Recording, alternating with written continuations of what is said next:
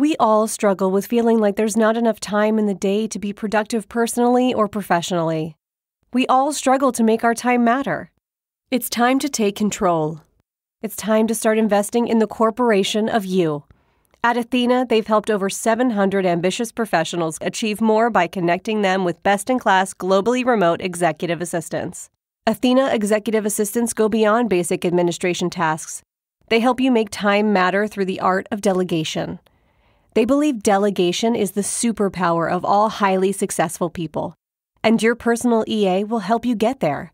Your EA is a one on one long term partner to help you achieve your personal and professional goals. Take back your time. Join the waitlist at athenago.com. That's athenago.com. Hi, I'm Brianna Seely, producer for OffScrip Health. Welcome to the Heart of Healthcare. Before we get started today, I'd like to tell our listeners about another show in the OffScrip Health Podcast Network Beyond the Paper Gown. Beyond the Paper Gown is candid, credible, and curated. Listen in to learn how host Dr. Mitzi Krockover can inspire, empower, and inform women with the latest information about their health and healthcare choices. Check out the latest episode, an innovator spotlight on Rosy, the sexual health app featuring Dr. Lyndsey Harper, OBGYN, founder and CEO of Rosy, an award winning women's health technology company. Or the Sexual Health Matters episode, where Dr. Mitzi Krockover and Dr. Lyndsey Harper talk about common complaints and treatment options for those with sexual health concerns. For more information, visit offscrip.com slash shows. The link will be in our show notes. Enjoy the show.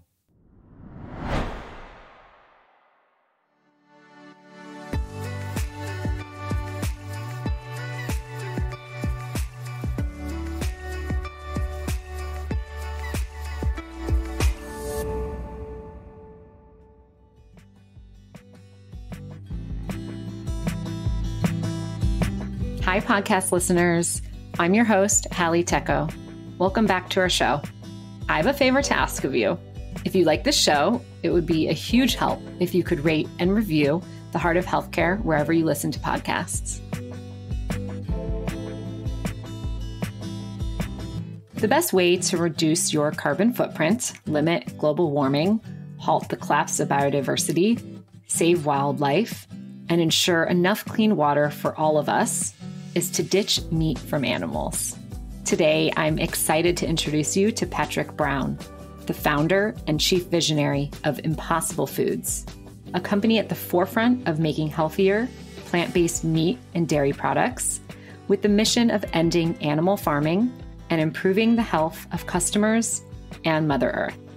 The idea for Impossible Foods came to Pat while he was on sabbatical from his position as professor of biochemistry at Stanford University School of Medicine. In reflecting on how he could use his training and expertise to make the largest positive impact on the world, he realized there was a way to make delicious, affordable meat and dairy products directly from plants that would be better for the environment and for customers. In 2011, Pat chose to devote himself full time to Impossible Foods, and the rest is history. Patrick, thanks for being here today. Oh, pleasure. You started Impossible Foods at age 60, and you could have coasted to retirement as a professor at Stanford, but instead, you started a company. Tell me about this itch that you just needed to scratch. Well, first of all, the last thing I would have wanted to do is coast to retirement. So, but really, I wasn't looking to do anything else. I, I, I loved my job at Stanford. Basically, my job description was just to um, follow my curiosity and discover and invent things. And it was a dream job. But I, in the course of a sabbatical, I started trying to identify what problem in the world, uh, what was the most important problem in the world that I could contribute to solving. And, and in the course of that, I realized that there's a very strong answer to that, which is the catastrophic impact of uh, the use of animals as a food technology, which is by far the most destructive technology on earth. And we can talk about that if you want. But, and I realize that we're not going to be able to get rid of it by telling people what to eat or telling farmers what to grow. And it's absolutely essential for the future of the world that, that we eliminate it as completely as possible. but that there was a way to do it, which is just to realize that it's a technology and it's a terrible technology.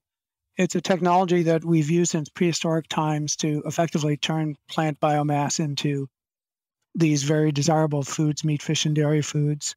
It's incredibly inefficient, resource wise, and also economically. And at that point, and at this point, it seemed to me that it was entirely within our capabilities based on what we know about, you know, how to understand things at the at the molecular level, that we could figure out how to make products that are not only vastly more sustainable and healthier and more affordable, but even more delicious than the than the ones that we make using the old animal-based technology. Mm. And so nobody was doing that. And so I just felt like, okay, well, first of all, this is the most important problem, the most urgent problem in the world. And I can't not work on it.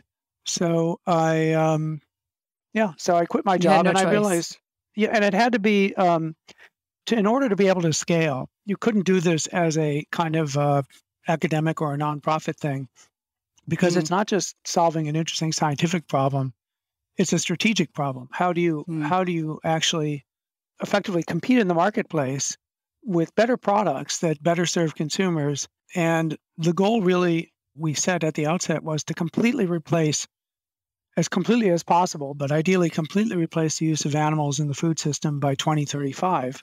So I just felt like I got to be all in on this. Mm-hmm. And that's why that it was a no-brainer. It was not there was no angst at all. I mean, that's what I had to do. Yeah. And you were quite early on raising this red flag of the meat industry being so destructive to the planet. How has kind of the understanding of this impact evolved since you started raising that flag? It's evolved a bit. I, I mean, when I went to the Paris Climate Conference, which was probably five or six years ago, I was literally the only person talking about this as a climate issue. I wasn't the only person who was aware of it because when I would talk to the other attendees who were, you know, in the kind of climate climate environment world, oh, they were aware of it, but they just uh, it it was something that was completely off the radar in a way for them because they sort of had this uh, delusion that you know the use of animals, uh, farming animals, and the use of animals in the food system was like a hardwired aspect of the world. And it it was not something they thought of as a, a, a knob they could turn basically. So no one was talking about it. literally i was the only person at the entire conference who said a word about it. And in fact i couldn't find uh, i couldn't have a plant-based meal at the entire event every snack every meal that they served had meat and fish and dairy food in it so that you know the there was some awareness but just massive indifference basically now you know i was at the COP in, in Scotland, and they made a deliberate effort to have plant based options at every meal. So kudos to them for that. Okay. Yeah. Um, the fact that they weren't, that there were other options that were insanely destructive, you know, was a problem, but we'll take whatever progress we can get. And it certainly is still is not a very prominent part of the discussion, not nearly as prominent as it should be. From a climate standpoint, basically, there is a way to do something that nobody even talks about in the climate world, which is that we could put the brakes on climate change within a, a, a decade and a half and create a 30 year pause in global heating, basically, in, in uh, 30 years of net zero greenhouse gas emissions, just by phasing out animal agriculture. And just doing that one thing. And we need to do it by 2050 because the you know, I think people are not aware that the impacts of cli- of global temperature, global heating, are nonlinear, mm. and things are going to get a lot worse in the next couple of decades. In fact, an interesting aspect of this is the economic impact. There was a study published recently, by, or a year ago, by um, the biggest reinsurance company in the world, Swiss Re. They're the company that insures insurers they insure, insure other insurance companies against catastrophic disasters that would bankrupt them. So they, th- th- this is a, you know, a core interest of theirs is to accurately predict the economic impact of climate change. And they published this study that basically said that in the year 2050, the impact on global GDP just of climate change will be about a 20, 10% reduction in global GDP. And in some parts of the world, like Southeast Asia and Africa, it'll be a 30% reduction. So effectively, what they're saying is, and this this is by 2050, and it's not going to just suddenly hit in 2050. It's going to be happening between now and then, and it's going to keep happening, getting worse. That we're staring on the barrel of the biggest global economic depression in modern history, just from climate change, and and this is a report from a group that has their entire business depends on being able to predict this. But there have been other other studies also that didn't get much attention, including from the U.S. government, that have basically said the same thing that that in a very short period of time, the economic impact is going to be an unprecedented hit on the global economy and the U.S. economy. And then there's the fact that the World Economic Forum said that by 2050 there will be potentially a billion people displaced by the impacts of climate change. So none of this gets much attention, but the point is it's no. urgent. And we can do it by 2050 just by phasing out animal agriculture. I, I published a paper on this earlier earlier this year. So why doesn't it get more attention though? Why why do we talk so much about electric cars as a, as the solution? I am not a sociologist, but I'll I, I, think that it, the climate impact and the environmental impact of cars takes place right before your eyes. Okay. Mm. The climate impact of your food choices takes place out of sight and, and deliberately so. Mm. I mean, the, the, the slaughter industry really wants to keep everything about their business as far away from the eyes of consumers as possible because it's a complete horror show. So, you know, it's it's it's a harder job of connecting the dots basically. And then there's, you know, the fact that just like the fossil fuel industry, you know, has tried to play down their role in climate change, and they did a pretty good job for yeah. a couple of decades. There's now there's a little bit more attention on the animal-based foods industry, and the data are un- unequivocal, but it's more recent, and so they've been doing uh, desperately trying to keep divert attention from that. There's other aspects to it too, which which has to do with the fact that in politics, agriculture, and particularly animal agriculture, has a disproportionate, relative to its economic impact, disproportionate political clout. And so, if you can keep it out of the political discussion, it's much less likely to get public attention. But anyway, I shouldn't even be talking about this because I'm not a sociologist, but um, it, it is a real phenomenon. Sure. Yeah. I wonder too if it's to get an electric car, to move to electric car, to get solar panels, it's kind of a lot of research up front and then a decision is made and then you're living out that decision. Whereas mm-hmm. changing your eating behaviors is lifestyle modification. And if yeah, you're I think operating in the world today, yeah, I mean, it's you're still faced with the other meat products. You know, you could say I, I want to only, uh, you know, eat plant based foods, but then you know you go out to dinner and there's a steak and it sounds good. It's just it's a constant decision that you have to make wake up every day and commit to. Yeah, that's true. If it's that of course the whole idea of impossible foods is to make it uh, yeah. not a complicated thought process. But yeah, I think it's a good point about if you're much more deliberate about the choice you make when you buy a car because it's a it's a high stakes and infrequent purchase. So people actually do their homework and presumably think about all the consequences, pros and cons of the choice they're making. Yeah, when mm you're just kind of sleepwalking through a grocery store, you know, you just defer to habit, I think, pretty much, and there's no moment of of um, decision. So, can you talk to us, for us non-scientists, exactly how plant-based meat works? Yeah, um, that's a hard question um, because because I mean, uh, to to talk in a meaningful way, there's yeah. a little bit of science involved, but basically, what I would say is there was no plant based meat before Impossible Foods. There were meat no. analogs, but but there, there were products there were veggie bean, were, like bean burgers that were very different.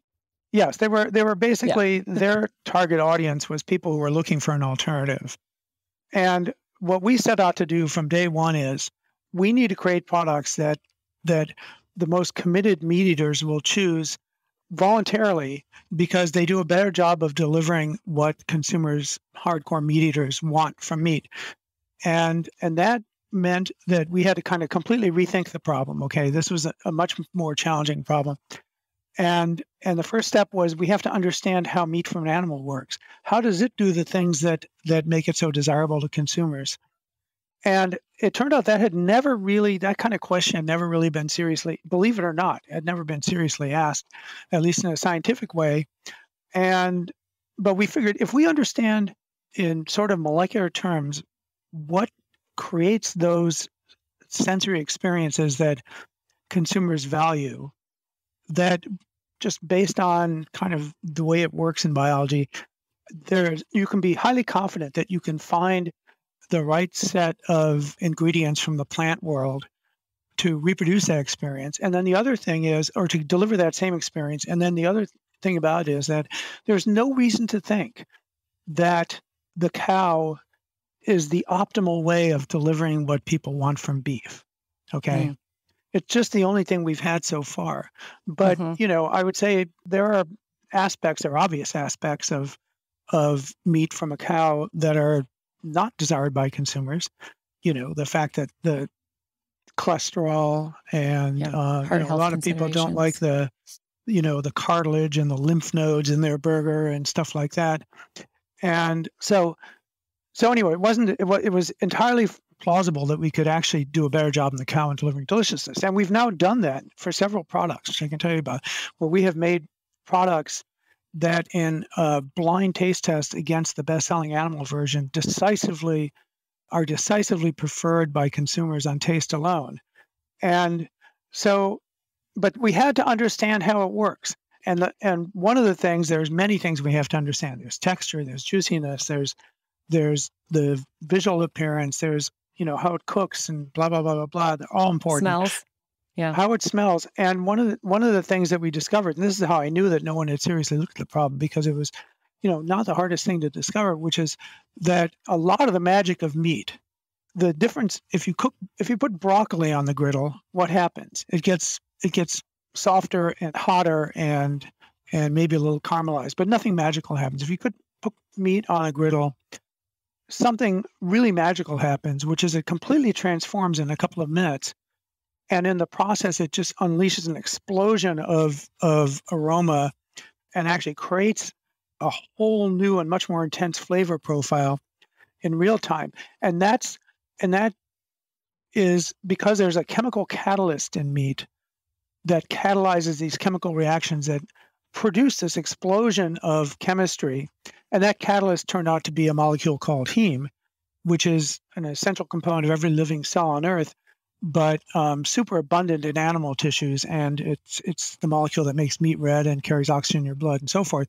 So we discovered that that that the reason that meat tastes like meat and that it has this flavor and aroma profile that's unlike anything from the plant world, 95% of it is just because it has a lot of heme in it.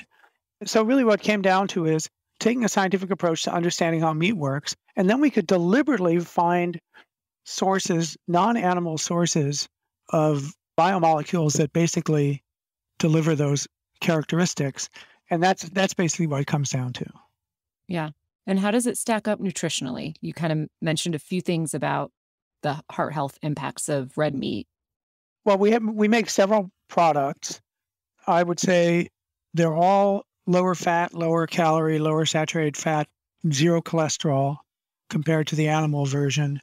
Just to pick one, you know, the best selling meat in the world is not beef, it's pork. Um, we really? A, That's interesting. Oh, yeah, yeah, yeah. That. Yeah. Chicken is a close second and it's probably yeah. going to surpass pork.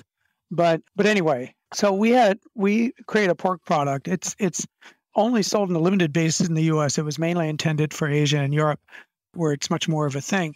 It's a, ground pork product. Um, it is it has 37% lower calories than the mainstream ground pork. It has 26% lower saturated fat, has zero cholesterol, and actually has a higher protein content than pork from a pig. Same bioavailable iron, same micronutrients. And in a blind taste test in Hong Kong, where pork is a much more mainstream meat than the US, it was decisively preferred over pork in a blind taste test over pork wow. from a pig. Okay. So Mm-hmm. so how does it compare nutritionally? It's a hell of a lot better. That's how it compares. Yeah. And chicken, you were just saying the best selling. It's not yet the best selling, but it'll soon be. Our nuggets, which we launched six months ago or something, I can't even keep track anymore, but not that long ago, or maybe a year ago. Lower calories, 60% less saturated fat, 30% less to- total fat than the best selling animal based chicken nuggets. And they're preferred three to one on taste over That's the. Yeah. leading animal based chicken nuggets. Yeah. So yeah. Anyway, So there are environmental and health reasons to move to plant-based foods. and deliciousness reasons. Yeah. That's the Yeah. that's the thing that's counterintuitive to people. yeah. That's why for us the critical thing is people don't think they'll, that this will taste as good, and it actually tastes better, but they only find that out if they try it. And Yeah. and that's really the big barrier for us is because everyone's past history with plant-based products that are that that have historically been meat alternatives is that if you like meat they suck okay Mm-hmm. and so people just it doesn't make sense to people that they could actually be more delicious until they try them Yeah. But they might have they might have been burned in the past. So we gotta Oh, like reconvert them. Yeah. of course And- yeah And you've said that every time you sell a product to a vegan or vegetarian, it's like, you know, doesn't impact your mission at all. And really, your goal is to convert the meat eaters. yeah yeah look the the the reason i founded the company just to be as blunt as possible uh, is i had zero interest in food okay? Um, i have zero interest in business okay? These are just things that that uh, that became important to me because of the en- en- environmental cause. And and our mission is not to be a big successful food company. That's a byproduct of our mission. Our mission is to completely eliminate the use of animals as a food technology globally okay? And the vegetarians and vegans are not or at least the vegans are not doing anything to maintain that system. In other words we have to what we have to do is to make it a bad business to be in you know the mm-hmm. animal based food business Yeah. by taking away the customers by delivering a product that is more delicious that's healthier and actually it's made a better way. Meat lovers don't love the way that their meat is made. They love meat in spite of the way it's made. They don't it's not a part of the value proposition that it's made from the corpse of an abused animal. Yeah. and and at scale our products will be substantially less expensive because we like for beef we use 125th the land we use uh, one ninth the water we use less than 10% the fertilizer and agrochemicals less labor growing the plant crops because we turn them so much more efficiently into meat. Mm. zero labor managing the animals and our production process is much more automated. So when we get to full scale it's going to be game over for that industry. Yeah. but anyway it's all But about now, wait, sorry to interrupt, but now are, are the prices comparable or is it slightly more now for right now i don't know the exact ratio.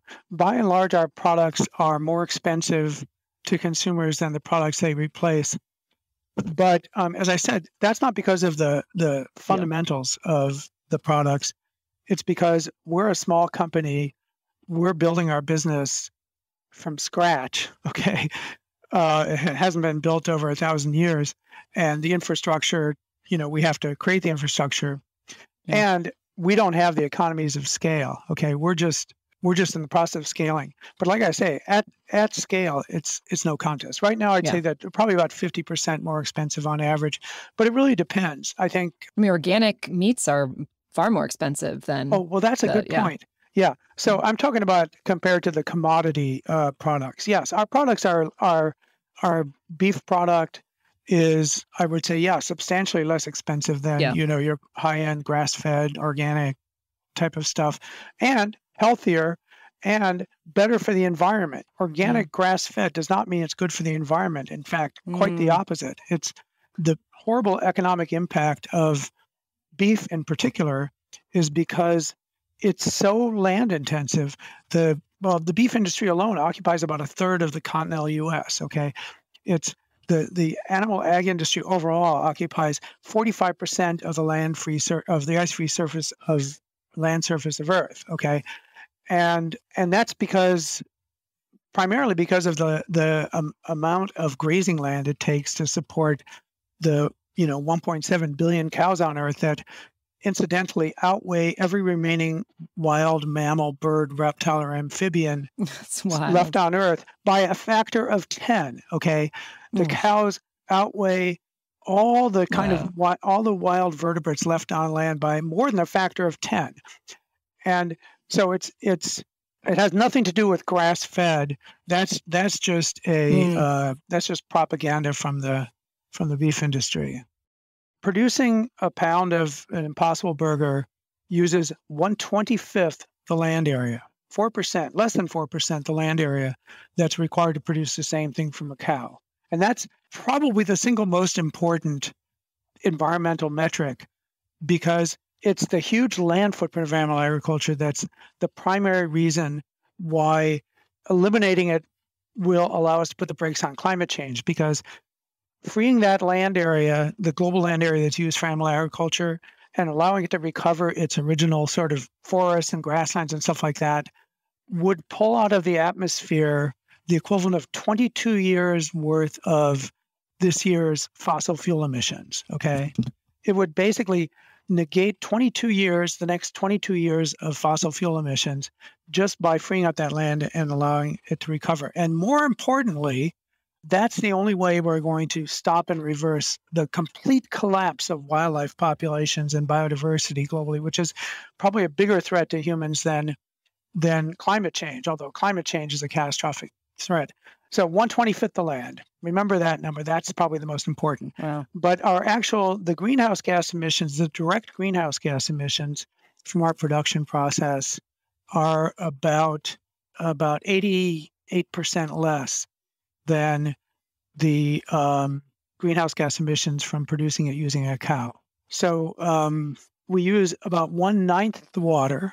Okay, so 89% less the, our production process, because of the crops that we get our ingredients from and so forth, compared to the crops that are grown to feed cows, less than a twelfth the fertilizer and less than a twelfth the agrochemicals that go into producing a pound of beef from a cow. So those are all, I think, meaningful metrics with respect to environmental impact. We'll be right back after the break.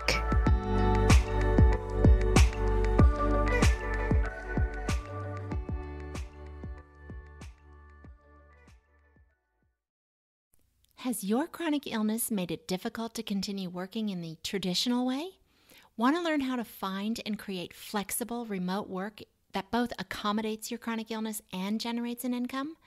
Join the Patients Getting Paid membership, a community of chronicpreneurs where people just like you find workshops and trainings, weekly updated condition specific gigs, twice monthly coaching calls, co workings, accountability, and the kindest community to support you on your path to make money while working from anywhere and taking good care of yourself. Learn more or join us at patientsgettingpaid.com.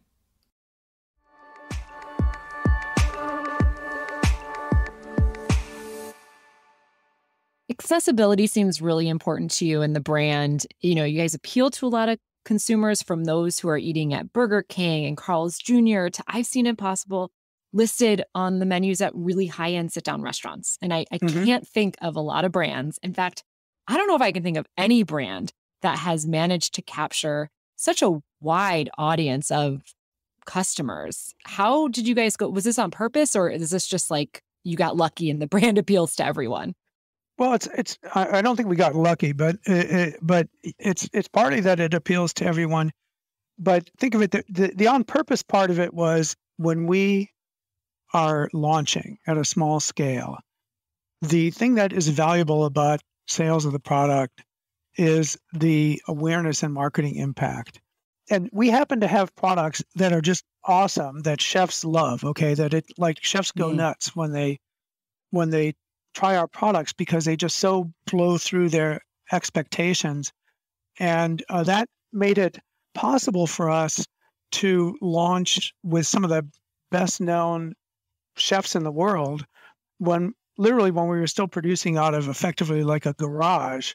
And that's what we needed because we needed those sales, what we needed was to send the message to consumers that this is not like anything plant based you've ever encountered or imagined before. This is a product that is meat that the hardest mm. core meat chefs in the world will put on their menu and not only put it on their menu but put it on on their menu as meat so that's why those and it continues to be when we launch in a new market that's kind of our one of our go-to things is launch with the highest reputation chefs and it's and we're not bribing them and you know it's because they get excited about this they want to bring this to consumers and the thing about another thing about those restaurants is that their menus are highly curated so if you just mm-hmm. launch your mm-hmm. product in i mean to some degree it's true of of of the fast food restaurants, but there it's also more of like just this uh, crazy jumble of options. But on a highly curated menu, if, if your product is there, people will notice it. And it's mm-hmm. been endorsed in, a, in a, an extremely meaningful way by a chef whose livelihood and reputation depends on the choices they make to put on their menu. So that's a super valuable endorsement. But the thing about our product that's not so unprecedented is actually there are a lot of basic foods that the high end chefs and the fast food chefs basically buy the same raw material. And that's true for, you know, a lot of, um, let's just say ground beef. Like there's not really much that you could detect, frankly, that's fundamentally better about the ground beef from a cow that's served in a Michelin star restaurant and what's served in, you know, a, a fast food restaurant. Really, it's it's in fact it, we've done just in our experiments and so forth we've we've compared like supermarket ground beef to wagyu ground beef with just blind taste tests among consumers generally the supermarket ground beef is significantly preferred it's also significantly preferred over grass-fed organic to be honest in a blind taste test so our products they're intended to be widely applicable across the gamut of applications that you use right now ground cow for. Okay. I think that's that's the point. It's not a highly special it's not like spicy Doritos or something like that, a highly specialized product. It's more like the cornmeal that goes into making those and goes into making the highest end tortillas. So we all face naysayers, and I'm sure you have as well. I'm curious about what's been kind of the biggest roadblock? What group has been um, the most challenging for your work? Yeah, that's interesting. Uh, is it the meat it's, industry, it's perhaps? Well, like, have they, yeah, the, the, the lobbying, agriculture yeah, lobbies? certainly the slaughter industry. Here's here's the thing: the, mm. the slaughter industry, the slaughter cartel, um, oh. doesn't like us, and mm-hmm. um, they are constantly publishing and propagating disinformation it's pretty mm. much, in fact, they use the same group, the same notorious group that was the go-to group for the tobacco industry, for wow. the for the big oil industry, mm-hmm. propagandizing against climate change and and stuff like that to produce propaganda against us. It's total mm. disinformation. Mm. I don't know how many people pay attention to it, but they've certainly been putting a ton of energy into it. And interesting mm. anecdote is that before we even had any products on. We were practically still in stealth. We had been sort of outed by the Wall Street Journal as like this company exists, but we didn't have any products on the market.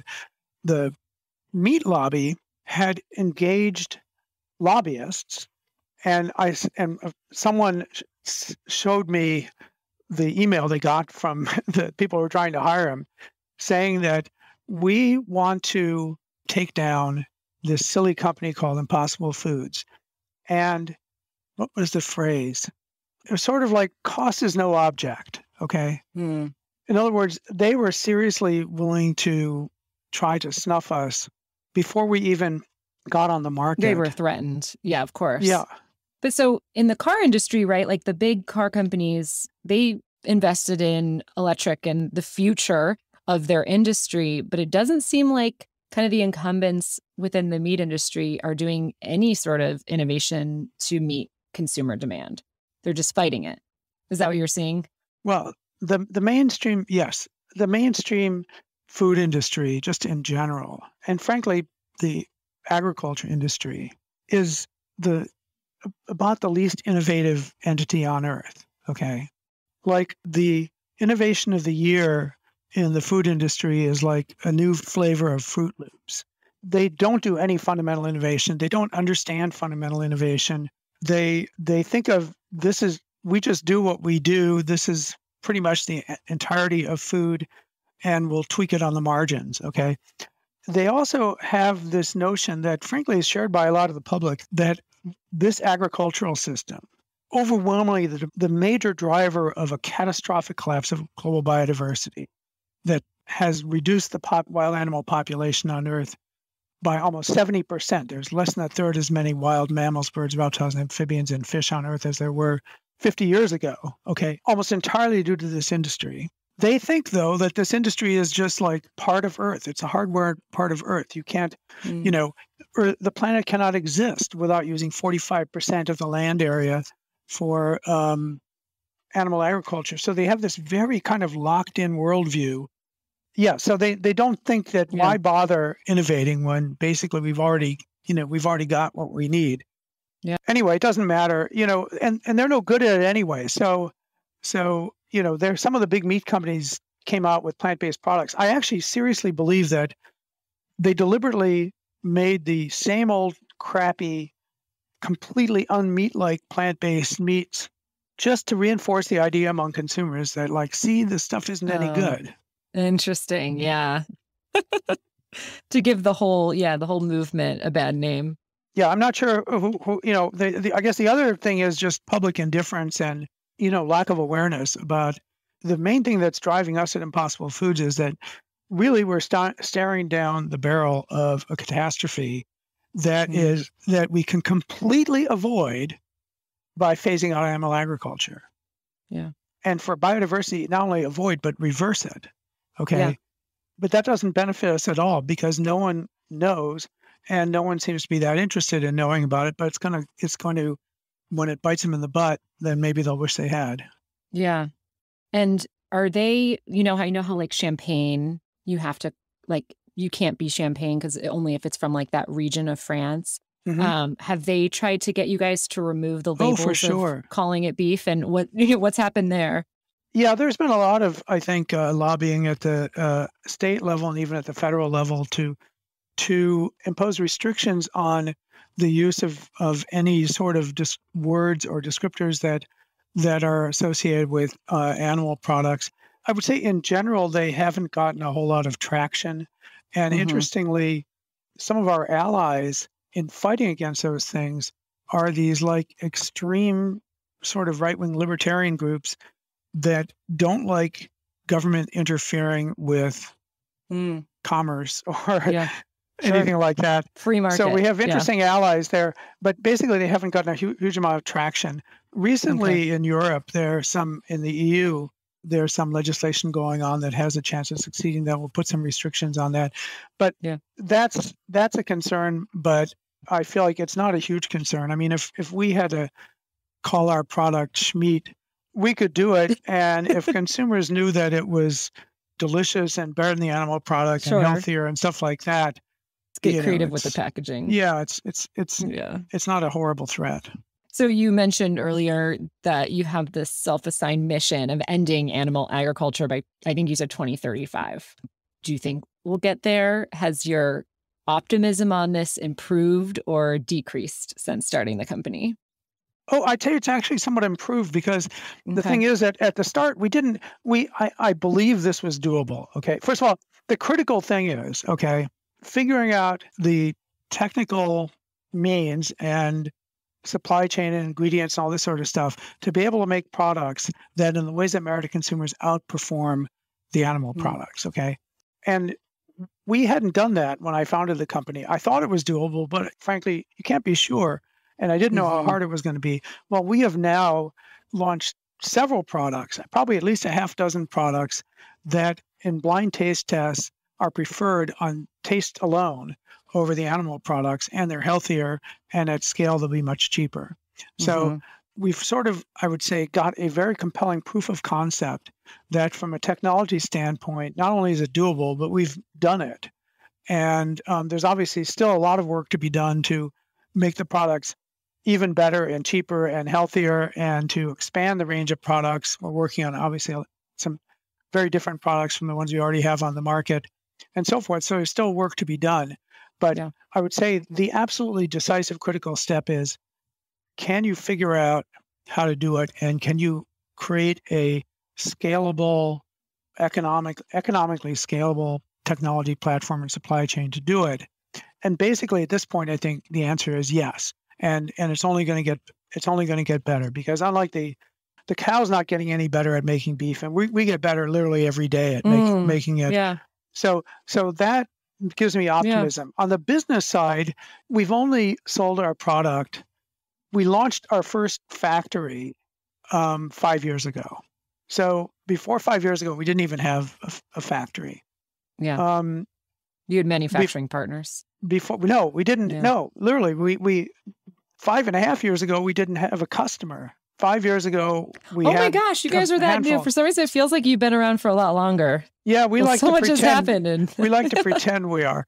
But and, yeah. and then we've we only launched in retail less than That's three great. years ago. Okay, that's so, so cool. from a business standpoint, we're still figuring it out. Okay.